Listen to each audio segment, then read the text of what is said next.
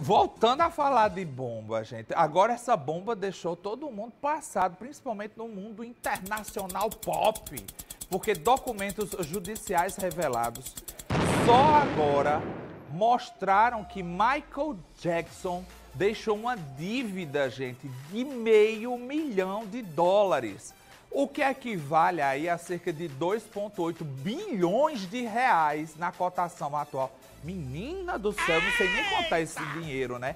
Dentre os débitos do rei do pop, o maior seria com uma produtora que chegou a emprestar dinheiro para a turnê dele, que faria em 2009. Você lembra? Seria uma grande turnê por todo o mundo, né?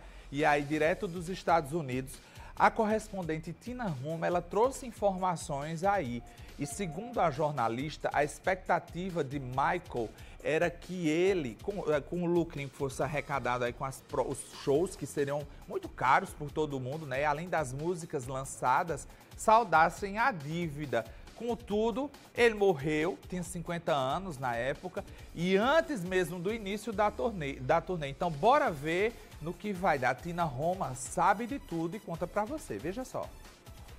O rei da música. Uma voz perfeita. Passos inesquecíveis. Canções imortalizadas pelos fãs. Michael Jackson fez fama e fortuna durante a carreira que começou cedo. Tinha apenas seis anos. Uma carreira interrompida tragicamente aos 50 anos de idade. Foram inúmeras músicas nas rádios, turnê pelo mundo inteiro, shows sempre lotados. Michael Jackson ganhou muito dinheiro, mas gostava de levar uma vida excêntrica e luxuosa. Por isso tinha dívidas enormes quando morreu em 2009. Só agora o valor dessas dívidas foi revelado.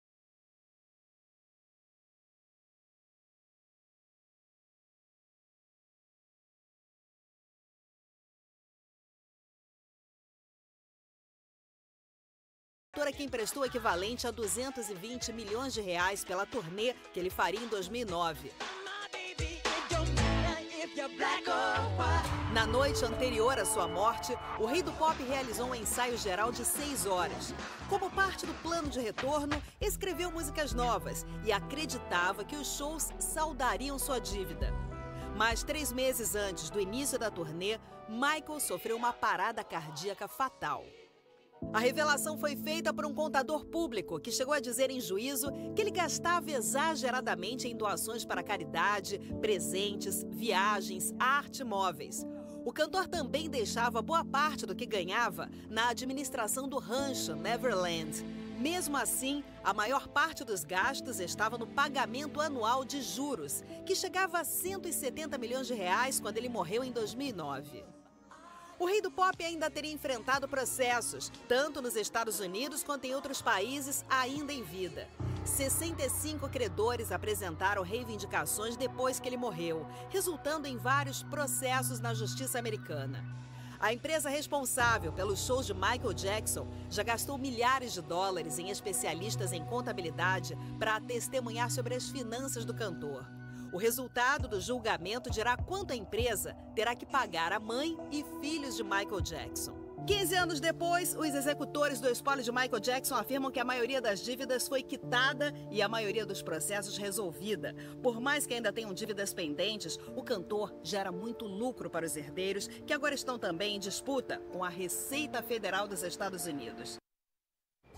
Mas que coisa, né? Eu disse 500 mil mais 500 milhões de dólares, o que é, são quase 3 bilhões de reais, né?